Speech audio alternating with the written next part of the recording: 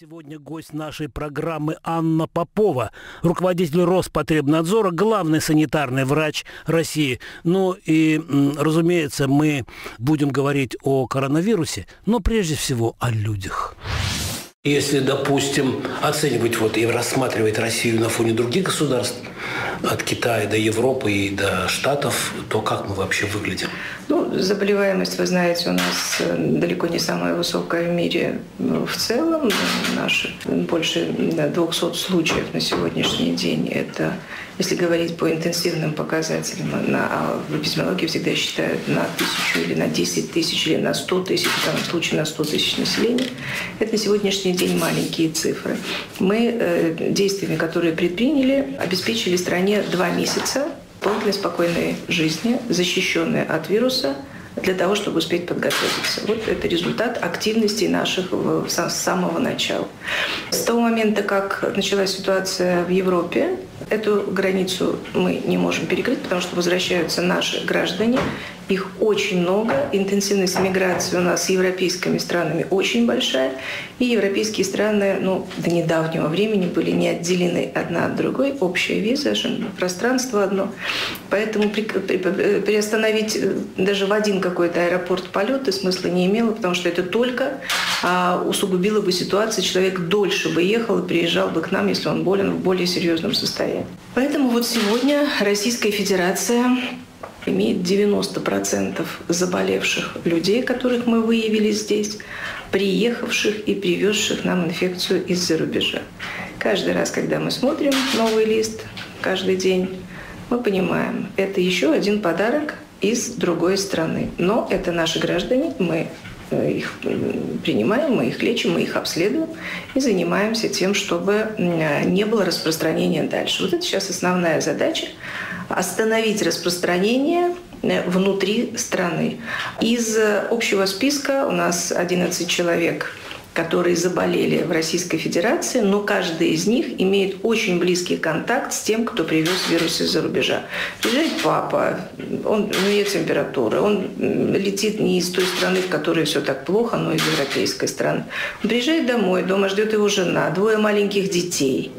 Конечно же, это прекрасная семейная сцена, это встреча, любовь, объятия, но через время оказывается, что он себя чуть плохо почувствовал, но при этом уже у его близких есть коронавирус. Вот такое инфицирование. Но я хочу сказать, что на сегодняшний день 82% из вот этого нашего сегодняшнего актуального списка имеют инфекцию в легкой или практически бессимптомной форме течения. То есть это легкое острое респираторное заболевание по клинике, и, или это совсем отсутствие какого-либо проявления, а результат мы получаем только потому, что это люди контактные по э, заболевшим. Скажите, пожалуйста, а э, речь идет только о аэропортах или вокзалы? Люди же могут на поезде приехать. Ну, количество Откуда? поездов, которые совершают международное движение, мы теперь знаем все вот в этом здании mm. наперечет, но mm. на сегодняшний день остановлено все. Так же, как было с Китаем, из Европы сегодня тоже не едут поезда. Так же, как... Только самолеты? Только самолеты и по принципу э, столица-столица. А машины? А, автомобильные пункты пропуска тоже приостанавливаются на период таких ситуаций. Скажи, пожалуйста, а сколько сейчас э, количество людей наших или не наших, неважно, у нас, э, которые заражены? Коронавирусом. Которые заражены на вчерашний день, это было это число 253 на... человека. Это а... на сегодня 253, а вчера было 193. Ну, естественно, сейчас пока увеличивается, да, количество Конечно, будет увеличиваться, потому что сейчас возвращаются наши граждане. Ну, общее количество лиц, пересекающих границу, снижается, мы это видим, угу. снижается значимо. Но российские граждане возвращаются домой. И они, конечно, возвращаются из самых разных стран. И сегодня в списке стран, пораженных коронавирусом, 153 страны. И возвращаясь из каждой из них, а может быть и из тех, где еще не выявлено, но уже наверняка есть, потому что инфекция распространена, уже объявлена пандемия, вы знаете. Угу. И люди, конечно же, э, и сами имеют риск быть э, больными, заболевшими. Ну и, конечно, несут риск в страну. Угу. Поэтому вот э, буквально вчера принято решение мною о том, что каждый возвращающийся в страну должен две недели провести в условиях изоляции Ну, если это без нарушения здоровья, значит в условиях домашней изоляции с соблюдением всех правил, они особенные для каждого случая. Анна Юрьевна, а вот вы сказали, что у нас было, у нас с вами было два месяца в запасе. Вот за эти два месяца можно было, допустим, как-то ну, вывести их, что ли, или вообще не отпускать никого? Никуда. Куда не отпускать. У нас в течение э, Или... двух месяцев после начала ситуации, с 31 Уже был режим декабря, особый, у нас да? не было, у нас было два заболевших ну, из Китая, ну, которых да. мы Читать и больше, ага. и больше, и больше не было. И вот это время, когда мы э, очень системно занимались ну, во-первых, мы создали тест-систему, у нас средства диагностики, а в этой ситуации, когда нет лечения пока, нет пока вакцины, самое главное – выявить больного, для этого нужно иметь средства диагностики и ограничить его контакт с другими людьми. Вот это задача, которую мы решаем сегодня и к которой мы готовились в течение двух месяцев. А вот есть 10 шагов по профилактике коронавирусной инфекции. Вы их наизусть знаете, да? И знаете, что хочу сказать? 10 шагов или, у нас у нас есть разные... Или 12 даже. Разные памятки там про 3, про 3 шага, про 5 шагов, про 10 угу. шагов. Это ну, не наше изобретение, но наше использование очень активное моих коллег, моего пресс-секретаря. И мы начали это делать в 2015-2016 году, когда пришел высокопатогенный грипп. Угу. И оказалось, что очень важно и никак не получается сразу донести до населения, что надо делать. Вот э, меры профилактики, да, ну вроде мы рассказываем, вроде мы там пишем какие-то памятки, вроде мы там пишем пресс-релизы, ну вот ну, ну, ну не читают, ну, ну не, если не кто, попадаем. Кто не хочет, не умеет, может читать. Вот что бы вы посоветовали ну, людям, которые сейчас Поэтому мы вот такие э, разные вещи вложили в шаги. Самое главное шаги. Вложили такие. в шаги, да. Вот не делай так, как надо, и угу. все будет хорошо. Или не делай так, как не надо, и тоже все будет хорошо. А, инфекция воздушно-капельная, такая маленькая преамбула. Инфекция связана с тем, что если человек болен, то при чихании, при кашле капельки, которые э, выбрасываются, они попадают другому человеку, и человек заболевает. Вот такой путь самый распространенный. Сегодня говорят о том, что он может быть там с грязной посудой, там, э, фекально-оральный, он может быть контактный, когда трогают. Но основной все-таки механизм передачи – это капельный путь, воздушно-капельный путь. Поэтому надо те же меры использовать и предпринимать, э, как при гриппе. Да? Что мы делаем? Первое мы держим все, что, чего касаемся, в абсолютной чистоте. То есть это чистые руки, это чистое лицо, это чистые предметы вокруг.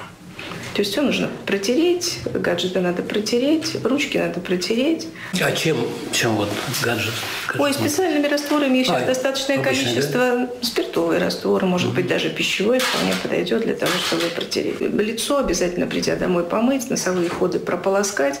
И, в общем-то, риск падает очень-очень серьезно.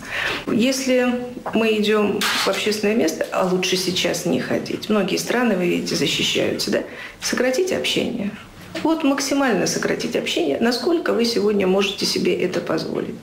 Не идти в торговый центр, если у вас просто вот нет крайней нужды, не пускать туда детей, там, подростков, не поехать в общественном транспорте, если, опять же, нет острой нужды, а пройтись или как по-другому добраться до работы, или найти то время, когда пусть это будет чуть раньше, пусть это будет чуть позже.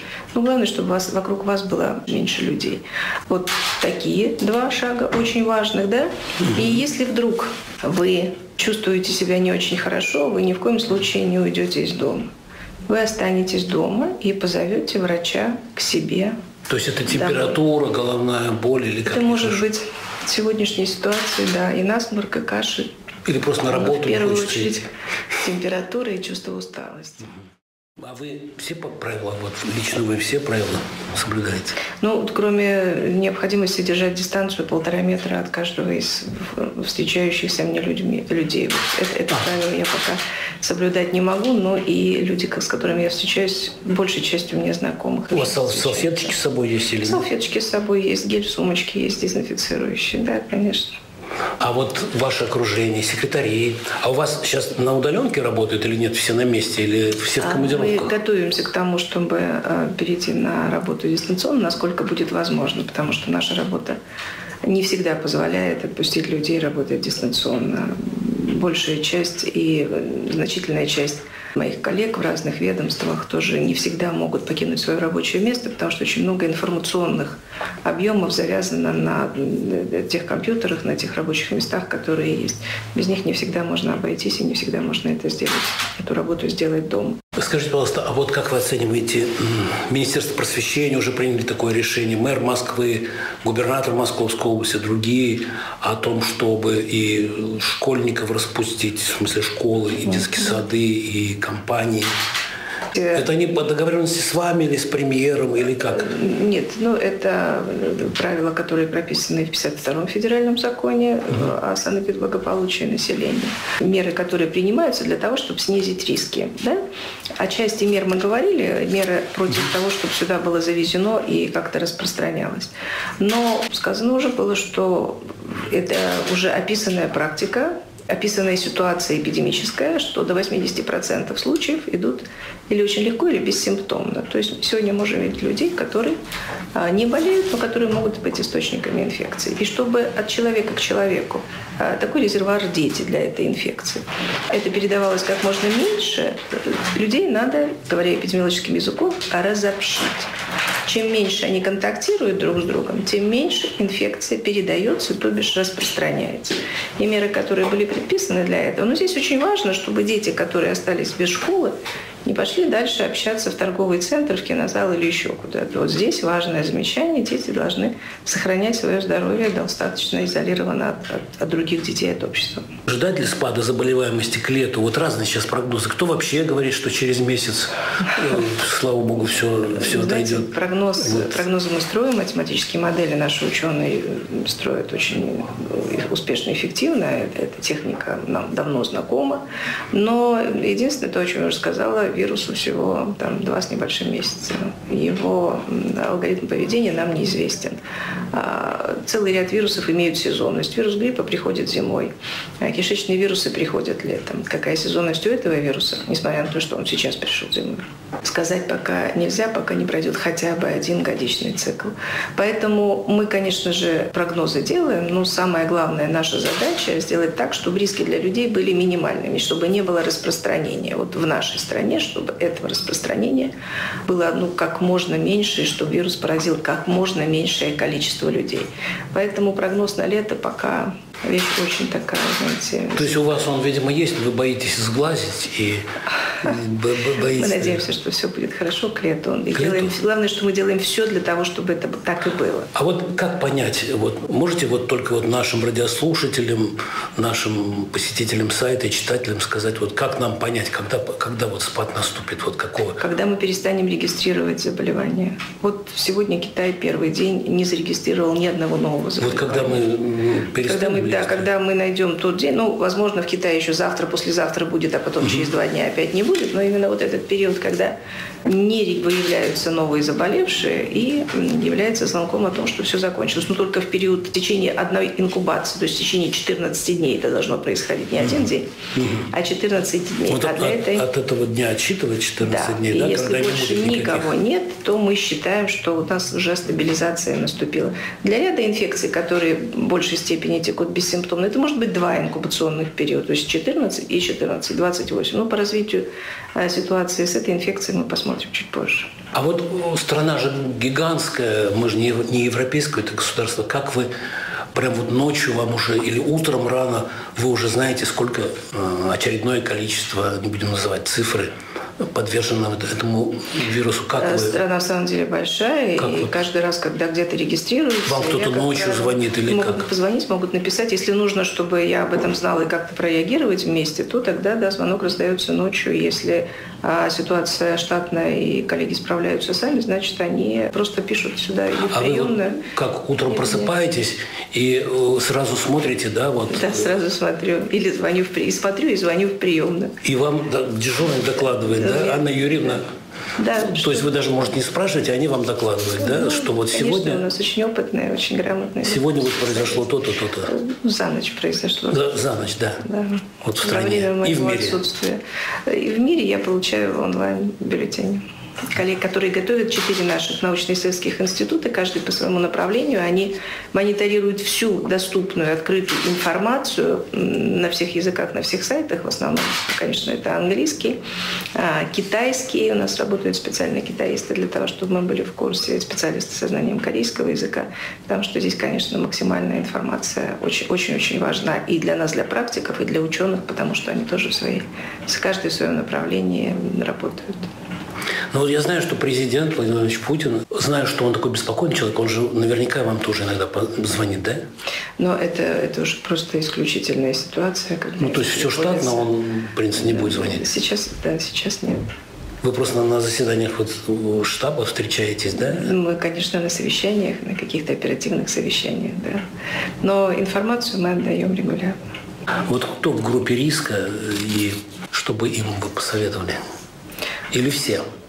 Или... Нет, э, из того, что мы на сегодняшний знаем день и что по результатам анализа, э, группа риска – это люди за 60 и люди, имеющие хроническую патологию, сердечно-сосудистой, эндокринной системы и системы органов дыхания. Вот если есть хронические заболевания, независимо от возраста, это абсолютно точно группа риска.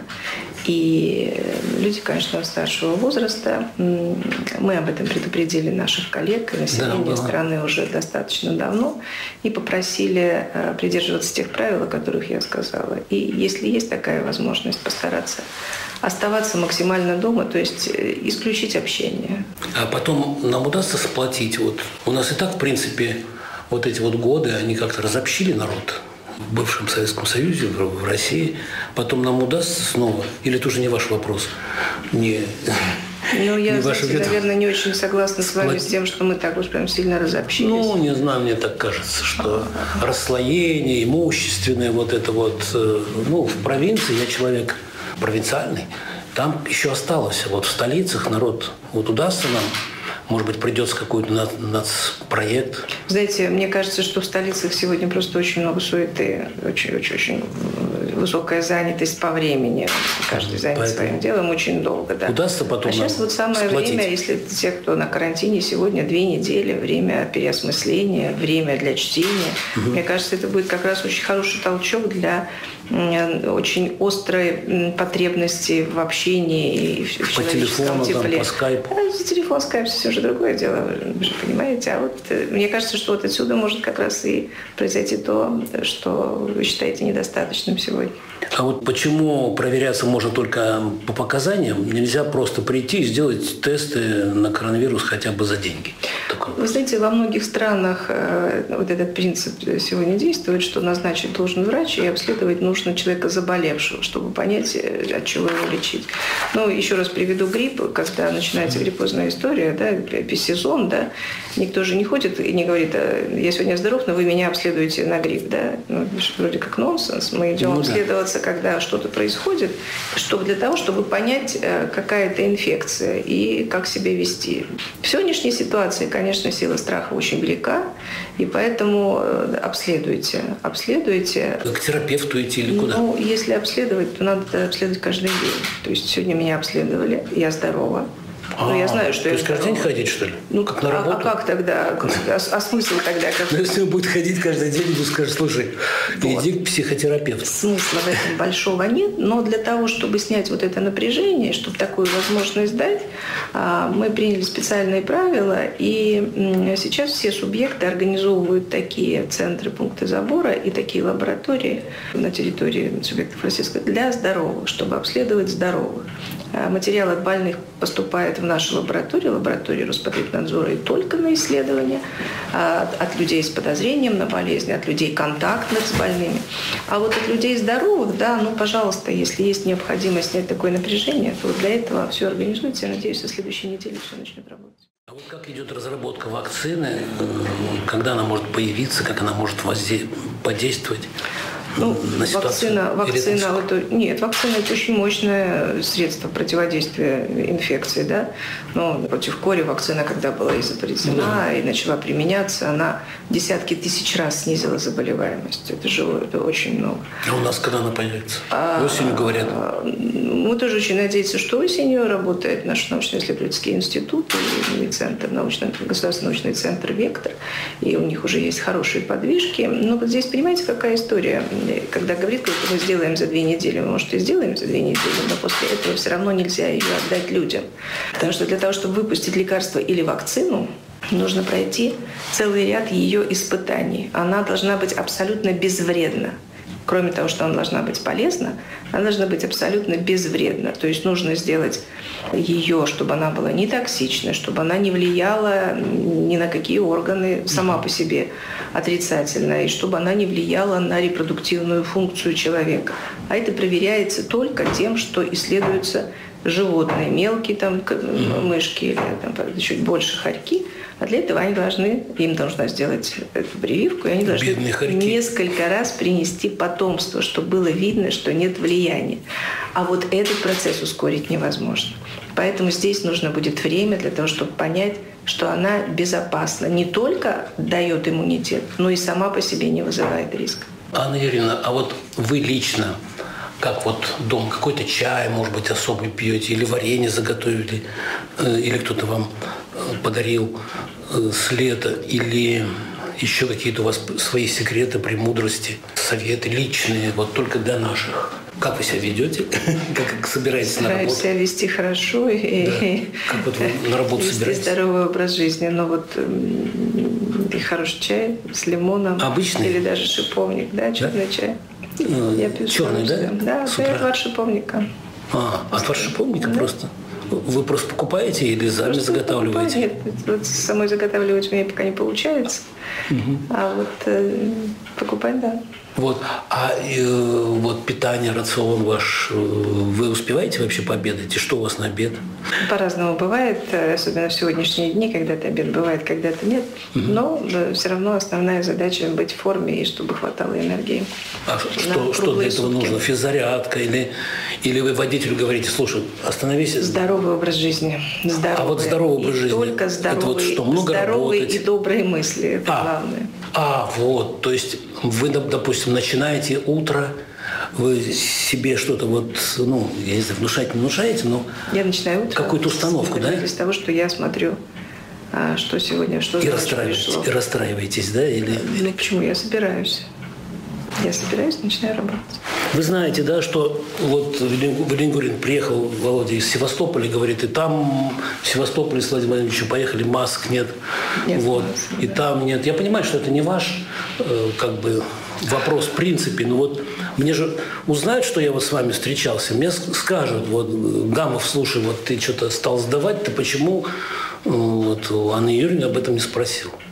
Правда скажут. Точно не скажут, что вы стали сдавать, потому что это невозможно. Это совсем не так. Не, ну как? Вот. А почему масса? Когда большая задача, она решается. Она решается, ставится производство, начинается производство, начинается привозит министерство профильное маски сейчас. Mm-hmm. Это большая работа и большая задача. А, но вместе с тем, если вот смотрим же, да, можно закрыть э, шарфом, можно закрыть платком, то есть если уж очень, да. Здесь еще понимаете, в чем дело? А, сейчас самое такое масочное время, mm-hmm. не только потому что вируса, потому что а, начинают свести деревья. И люди, которые страдают аллергией, очень хорошо понимают, что вот сейчас нужно закрывать лицо и закрывают, ну, уже так, ну, посмотрите, каждый год, не обязательно в этом году. Люди так аккуратно, женщины платочком прикрывают рот нос просто для того, чтобы не вдыхать пыльцу. Сегодня это тоже поможет. Вот на этом, пожалуй, мы закончим сегодня нашу программу, наше интервью с Анной Поповой, руководителем Роспотребнадзора, главным санитарным врачом России. Друзья, берегите себя и своих близких. Всем крепкого здоровья, всем здоровья, оптимизма, благополучия. С вами был Александр Гамов. Пока.